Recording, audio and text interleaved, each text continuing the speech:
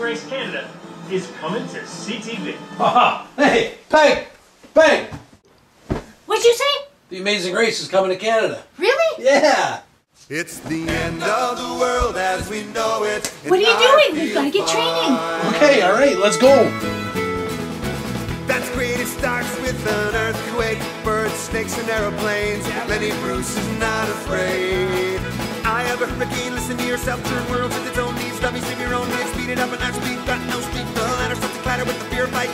Fight fire in a fire, represent the southern gang from the government for hire in the combat site. Like there wasn't coming in a hurry, with the fury breathing down your neck.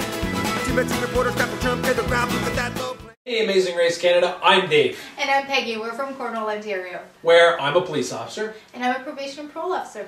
and I arrest them, she fixes them, I arrest them again. Uh, I have a daughter, I have two sons and a daughter. and we got married in June of 2012. And we're newlyweds. A blended family of six. Very busy.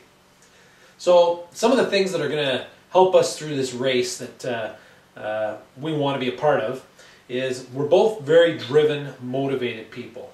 Uh, we're both uh, we both have a lot on the go, and we make things happen. We're also a very good judge of character, and I really think that our ability to read other people's personalities and their strengths and their weaknesses could definitely work to our benefit. Absolutely, we'll be able to manipulate the other teams into doing what we need them to do to lead us to the victory line. So Peggy, Peggy's uh, positive traits is she's very athletic. She's uh, a very strong person, both mentally and physically. And well, of course, look at her. She's beautiful, and we get along great. Some of her not so good traits is she's stubborn and drives me nuts, and I don't really get very far. And she has no sense of direction. So that's going to be something where I'm the navigator for this part of it. Absolutely.